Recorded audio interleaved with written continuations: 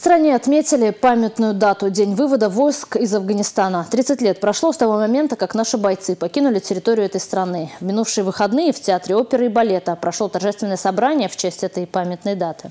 Офицеры, офицеры, ваше сердце прицелом за Россию и свободу до конца.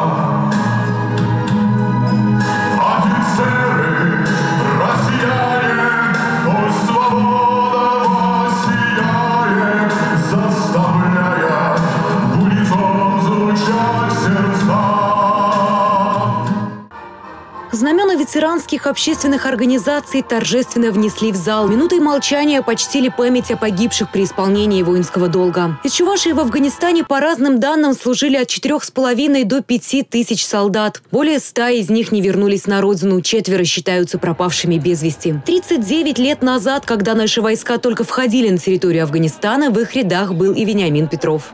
Как бы там сегодня ни говорили, мы с честью как один выполнили свой воинский долг. Мужественно, отважно, силой духа.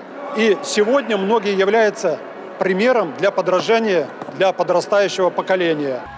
Ныне подполковник запаса Юрий Кудряшов попал на войну сразу же после училища. Вместе со своим другом они написали рапорты, чтобы попасть в состав ограниченного контингента 40-й армии. Там Юрию Кудряшову приходилось совмещать по 7-8 должностей. Возили мы э, стройматериалы, возили мы горючие материалы, мы возили мы продукты питания, возили боеприпасы для 40-й армии. Было у нас опасно, были обстрелы. Вот.